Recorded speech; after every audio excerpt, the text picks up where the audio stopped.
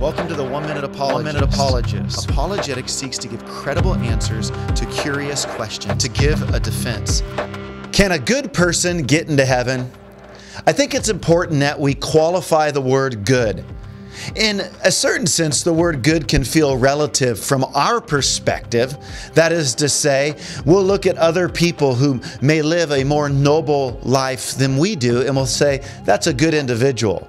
But what we really need to understand is good is absolute, and good is grounded in God, and God is the standard of goodness. And when it comes to ultimate goodness, in comparison to God's goodness, His holy, sovereign, divine nature, all of us are bad. All of us are sinful. Some are worse than others. But from God's perspective, all of us desperately need a Savior. In fact, the Bible says, There is none good. No, not one in Romans 3:10.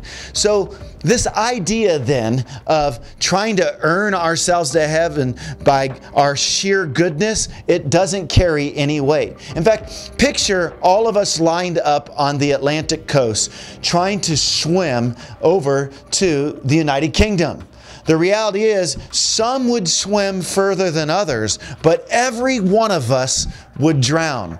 In the same way, there are people from our perspective that live more morally righteous than others. But from God's perspective, we've all drowned. And God, in His rich mercy and grace, came to rescue us in the person of Jesus Christ. And if we will believe on Him, then our sins can be forgiven and then we will be declared good. We will be declared with God's righteousness, the righteousness of His Son, Jesus Christ.